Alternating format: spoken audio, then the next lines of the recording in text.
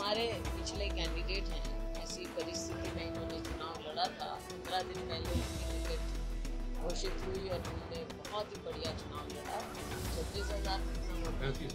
हज़ार। पैंतीस अच्छा लेकर गए पंद्रह दिन की मेहनत से और लगातार पाँच साल ये काम कर रहे हैं।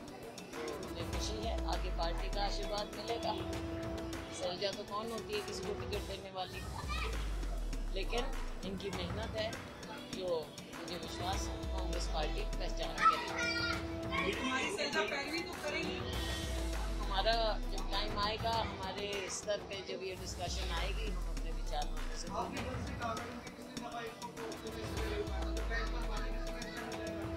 तो देखो, जो पार्टी का फैसला होता है, कब टिकट कब आखिर में जाके कुछ जल्दी हो जाती है, कुछ बात होती है तो हम आज क्या कह सकते हैं? लेकिन स्क्रीनिंग कमेटी बन गई है तो प्रक्रिया तो जल्द शुरू हो जाएगी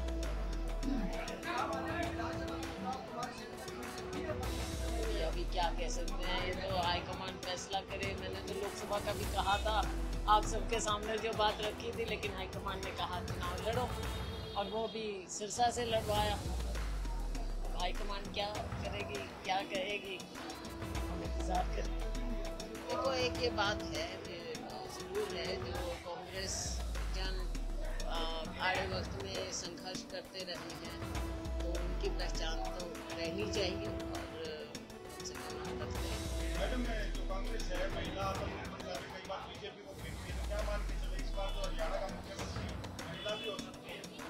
देखो ये हाईकमान का फैसला होगा कि कौन मुख्यमंत्री बनेगा। मेहनत सब कर रहे हैं।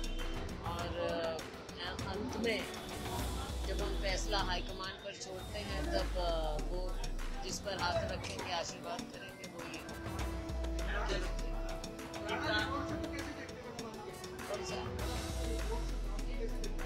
दादा साहब ने पहल की, सभी साथियों ने इनका साथ दिया, सब मेहनत की।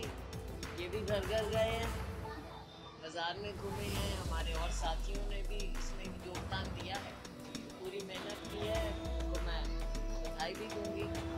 साथियों को भी बधाई दूँगी जिन्होंने बढ़ चढ़ कर इसमें कांग्रेस पार्टी के तिरंगे को उठाया और आगे बढ़ाया। बहुत ज़्यादा है उसी में टिकट तो इनको मिली कहीं ना कहीं लगता है अगर सही ढंग से टिकट का बंटवारा नहीं हुआ तो बगावत फिर हो सकती है।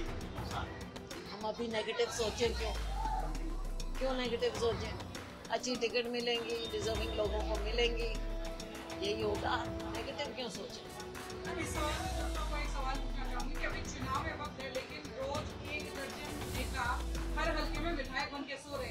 तो ये मानते हैं कि अपनी जेब में टिकट लेकर के वो लोग कहते भी हैं ऐसे कई बार टिकट तो हमारे ही पास है तुम लोगों को लोगों को तो जरा दें क्या?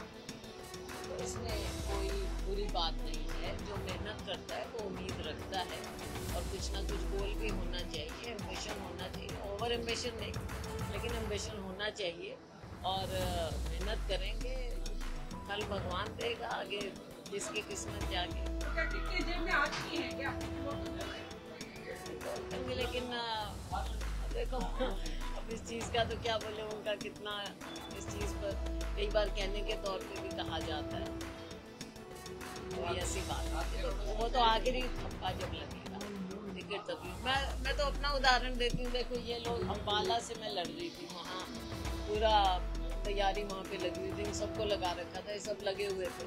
आखिर में फैसला पार्टी का हुआ, सिरसा जाओ। कई लोग ये भी कहते हैं कि पिछले वर्षों में जैसे के साथ मतलब मेजोरिटी आ गई कांग्रेस की मुख्यमंत्री बने अगर कांग्रेस की मेजोरिटी तो कुमारी मुख्यमंत्री देखो, जब तक चुनाव नहीं हो जाता और ये चयन नहीं हो जाता, हर तरह की थियोरी आएँगी, हर तरह के विचार आएँगे। हरियाणा के अंदर एक संज्ञा आपको दी गई को दी गई के करके जो है बीजेपी में चला गया, हालाँकि आपकी करीबी रही।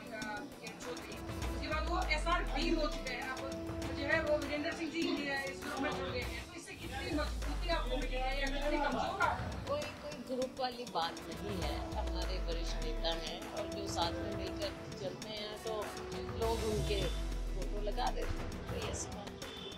मैडम जो लोकसभा इलेक्शन था उसमें गठबंधन इंडिया गठबंधन था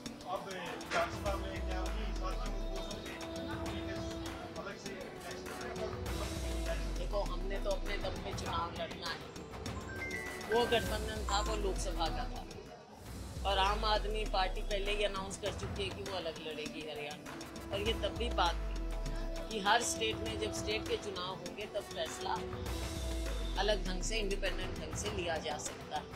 तो उसमें उन्होंने भी लिया और हमारा भी यही विचार है कि हम लड़े। कांग्रेस पार्टी तो अपने दम के सरकार, प्रचंड बहुमत से सरकार बनाएगी। अब देखेंगे अभी हमारे सामने तो आई नहीं है। लेकिन मैं ये ज़रूर कहूँगी कि कांग्रेस अपने आप में सक्षम है। आगे हाईकमांड को क्या कहते हैं वो अलग कहानी है, पर हम अपने आप में सक्षम हैं, कांग्रेस पार्टी लोकसभा चुनाव से पहले, तब हमने कहा था कि अगला चरण हम विधानसभा चुनाव से पहले करेंगे।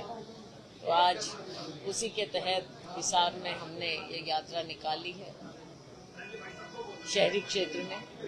मार्केट में। कुछ पुरानी यादें, कुछ नए लोग, दोनों तरह की बात है, लेकिन बहुत बेहद प्यार, स्नेह, आशीर्वाद मिला है। कांग्रेस पार्टी का झंडा बुलंद है। भाजपा की सरकार केंद्र में लड़खड़ाती हुई बनी, राज्य में लड़खड़ा रही है। और अब अक्टूबर में जब विधानसभा चुनाव होगा, पूरी तरह से उखड़ जाएगी। लोगों का साथ हमें प्राप्त हो रहा है कांग्रेस पार्टी को। और मेरा पूरा विश्वास है कि अक्टूबर में कांग्रेस की सरकार ही हरियाणा में हम बनाएँगे। लोग कह रहे हैं कि राजनीति का आशीर्वाद दे दिया तुम्हारी सरदा जी ने ये हमारे पिछले कैंडिडेट हैं। ऐसी परिस्थिति में इन्होंने चुनाव लड़ा था। पंद्रह दिन पहले इनकी टिकट घोषित हुई और इन्होंने बहुत ही बढ़िया चुनाव लड़ा। छत्तीस हज़ार कितना वोट? चौंतीस पैंतीस हज़ार। अच्छा वोट लेकर गए पंद्रह दिन की मेहनत से और लगातार पाँच साल ये काम कर रहे हैं।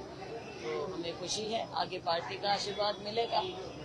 सैलजा तो कौन होती है किसी को टिकट देने वाली? लेकिन इनकी मेहनत है जो मुझे विश्वास कांग्रेस पार्टी पहचान करेगी। हमारी पैरवी तो करेगी।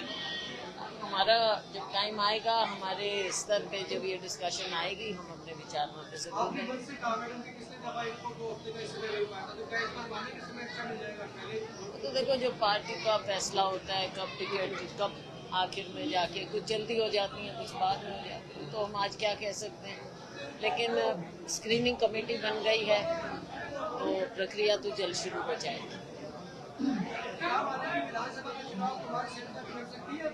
अभी अभी क्या कह सकते हैं? ये तो हाईकमांड फैसला करे। मैंने तो लोकसभा का भी कहा था। आप सबके सामने जो बात रखी थी, लेकिन हाईकमांड ने कहा, चुनाव लड़ो।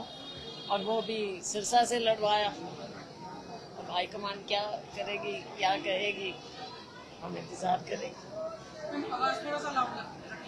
कांग्रेस की पैदल यात्रा या रथ यात्रा जो चल रही यात्राओं का है कांग्रेस के अंदर। और कैप्टन अभिमन्यु कहते हैं कि यही यात्राएँ, शव यात्रा बन जाएँगी। कांग्रेस के देखो, भाजपा अपने अपनी बात करती है, लेकिन सच्चाई तो ये है कि भाजपा अपनी ज़मीन खो चुकी है। ये कड़वी सच्चाई है जो भाजपा को पहचाननी चाहिए। लोकसभा में भी आपने देखा, और उससे पहले ही शायद भाजपा को खुद भी इस बात का कहीं ना कहीं अंदेशा हो गया था जो उन्होंने आखिर में जाकर अपने मुख्यमंत्री को भी बदला। तो नज़र आ रहा है कि कमज़ोर हैं। वीक विकेट पर खेल रहे हैं। मैं जैसे पिछले दिनों एक ही दिन दो दो रैलियाँ थी एक तरफ़ भूपेंद्र सिंह हुड्डा एक तरफ़ आप। एक रैली सफल हुई एक विफल हुई। अगर कहीं ना कहीं बड़े नेता एक ज़िले में एक ही जगह तो ज़्यादा मजबूती नहीं मिलेगी कांग्रेस को। अपना अपना कर रहे हैं अपने हिसाब से उसमें कोई बात नहीं कांग्रेस का ही है।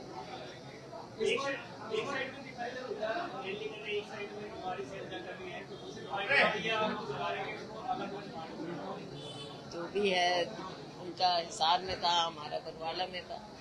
बहुत बढ़िया लेकिन मुझे उन उनके प्रोग्राम का तो पता नहीं लेकिन बढ़िया था। तो आज क्या कहेंगे आप? रामनिवास राणा जी जो लोगों का आमंत्रित किया था गर्मी भी थी हालाँकि मौसम ने साथ दिया। और लंबे लोगों ने भी मीडिया ने भी सबने साथ दिया। आप सबका धन्यवाद। इतनी गर्मी सारे पसीनम पसीने लेकिन मार्केट में भी लोग रुक रुक कर बच्चे बड़े महिलाएँ महिलाओं में विशेष रूप से बहुत अच्छा उत्साह है। है तो देखो देखो कई लोग तो सीरियसली डालते हैं कई वैसे डाल देते हैं तो एंड में तो दो तीन में रह जाती है बात। आखिर में जाकर पार्टी अपना सर्वे भी कराती है और सीनियर नेताओं से भी पूछते हैं फिर स्क्रीनिंग कमेटी अपना फैसला करती है सीईसी में जाएगा। कई पड़ाव हैं। देखते हैं किसकी किस्मत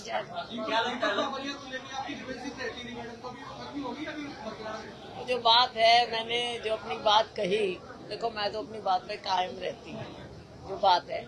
लेकिन ये ज़रूर है कि अब मीडिया में एक बात को बार बार कहते रहना अच्छा भी नहीं लगता। तो उस बात को हम, अब मैंने दूसरी बात पे आ गए।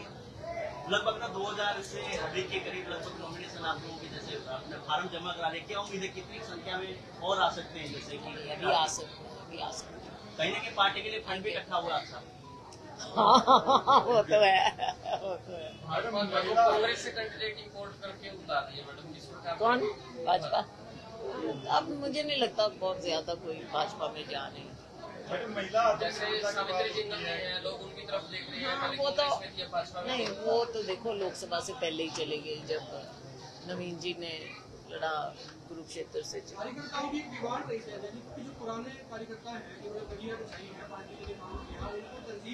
है है जबकि नए लोग आते हैं जो पार्टी से से आगे से आगे उनको लास्ट में जाके तरजीह मिल जाती क्या देखो एक ये बात है ये ज़रूर है जो कांग्रेस जन आड़े वक्त में संघर्ष करते रहे हैं तो उनकी पहचान तो रहनी चाहिए और कम से कम हम रखते हैं। मैडम जो कांग्रेस है महिला आत्मनिर्भर पे कई बार बीजेपी को भेजती है तो क्या मान के चले इस बार तो हरियाणा का मुख्यमंत्री महिला भी हो सकती है? देखो ये हाईकमान का फैसला होगा कि कौन मुख्यमंत्री बनेगा। मेहनत सब कर रहे हैं और अंत में जब हम फैसला हाईकमान पर छोड़ते हैं, तब वो जिस पर हाथ रखेंगे, आशीर्वाद करेंगे देखते हैं हैं राणा साहब ने पहल की, सभी साथियों ने इनका साथ दिया, सब मेहनत की, ये भी घर घर गए हैं, बाज़ार में घूमे हैं, हमारे और साथियों ने भी इसमें योगदान दिया है तो पूरी मेहनत की है, इनको मैं बधाई भी दूँगी दूसरे साथियों को भी बधाई दूँगी जिन्होंने बढ़ चढ़ कर इसमें कांग्रेस पार्टी के तिरंगे को उठाया और आगे बढ़ाया मैडम बहुत ज़्यादा है उसी में टिकट तो इनको मिल रही है। कहीं ना कहीं लगता है अगर सही ढंग से टिकट का बंटवारा नहीं हुआ तो बगावत फिर हो सकती है नुकसान। हम अभी नेगेटिव सोचें क्यों? क्यों नेगेटिव सोचें? अच्छी टिकट मिलेंगी डिजर्विंग लोगों को मिलेंगी यही होगा। नेगेटिव क्यों सोचें? इस सवाल से जुड़ता हुआ एक सवाल पूछना चाहूँगी कि अभी चुनाव है वक्त है, लेकिन रोज एक दर्जन नेता हर हल्के में विधायक बन के सो रहे हैं। सब ये मानते हैं कि अपनी जेब में टिकट लेकर के वो घूम रहे कहते भी हैं अक्सर कई बार बोल करके टिकट तो हमारे ही पास है तो लोगों को लोगों को, उन नेताओं को कुछ सलाह दें क्या? देखो, इसमें कोई बुरी बात नहीं है। जो मेहनत करता है, वो उम्मीद रखता है और कुछ ना कुछ गोल भी होना चाहिए एम्बिशन होना चाहिए। ओवर एम्बिशन नहीं, लेकिन एम्बिशन होना चाहिए। और मेहनत करेंगे। फल भगवान देगा आगे जिसकी किस्मत जागे। तो क्या टिकटें जेब में आ चुकी हैं क्या? क्योंकि लोग तो बोल हैं। बोलते होंगे लेकिन देखो अब इस चीज़ का तो क्या बोले उनका कितना इस चीज़ पर कई बार कहने के तौर पे भी कहा जाता है। कोई ऐसी बात नहीं। देखो वो तो आखिरी थप्पा जब लगेगा टिकट तभी मैं मैं तो अपना उदाहरण देती हूँ देखो ये लोग अम्बाला से मैं लड़ रही थी वहाँ पूरा तैयारी वहाँ पे लगी हुई थी, इन सबको लगा रखा था, ये सब लगे हुए थे। आखिर में फैसला पार्टी का हुआ, सिरसा जाओ। तो हमने दोनों सीटें जिताई। थकावट? थकावट किस बात की? उत्साह बढ़ा है। थकावट क्यों होगी? थकावट नहीं होती। राजनीति में थकावट नहीं हुआ करती तो देखो, जितने लोग हमारी तो खुराक है। जितने लोग मिलेंगे, जितना उत्साह देखेंगे, हमारी ताकत और बढ़ जाती। है राहुल गांधी का हैं हाँ तो बिल्कुल। आपने देखा कि ईडी सीबीआई आईटी इनको किस प्रकार से भाजपा सरकार इनका दुरुपयोग कर रही है? अपने राजनीतिक विरोधियों के खिलाफ इनका इस्तेमाल हो रहा है, कोई निष्पक्षता आज बची नहीं है। और केवल टारगेट किया जाता है राजनीतिक रूप से।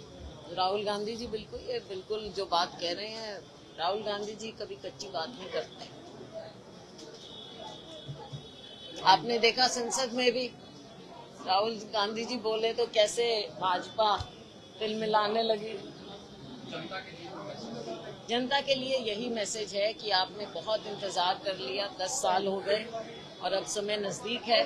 जब हम भाजपा जैसी जन विरोधी सरकार को पलटेंगे, लेकिन ये लोकतंत्र है, जनता से अपील है कि आप ताकत असली आपके हाथ में है और आप समय को पहचानिए। विकल्प कांग्रेस है, कांग्रेस को चुनिए।